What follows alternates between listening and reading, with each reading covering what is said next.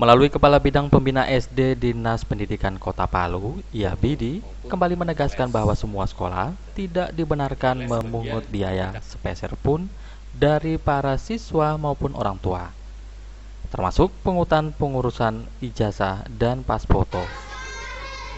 Semua biaya pengurusan tersebut dijelaskan Yabidi ditanggung melalui dana bos yang besarannya Rp15.000 per satu ijazah. Sekolah-sekolah yang terbukti melakukan pungutan liar juga disebut bisa dikenakan sanksi, termasuk para oknum. Penegasan Dinas Pendidikan Kota Palu ini sendiri menyusul adanya laporan beberapa orang tua siswa sekolah dasar di Kota Palu tentang adanya pungutan pengurusan ijazah. Pihak Dinas Pendidikan juga menyayangkan jika hal tersebut benar-benar terjadi, sebab dinilai dapat merusak nilai pendidikan yang seharusnya bebas dari praktik-praktik nakal. Untuk jasa penulisan ijazah per lembarnya 15.000. Ya kan untuk apa namanya?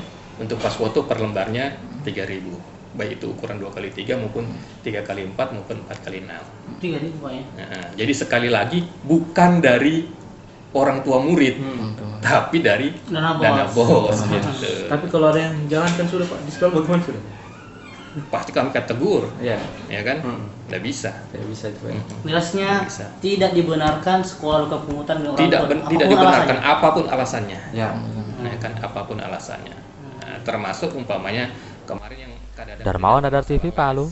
Iya iya ya kan. Nah, masalahnya kadang-kadang karena anaknya ini sehingga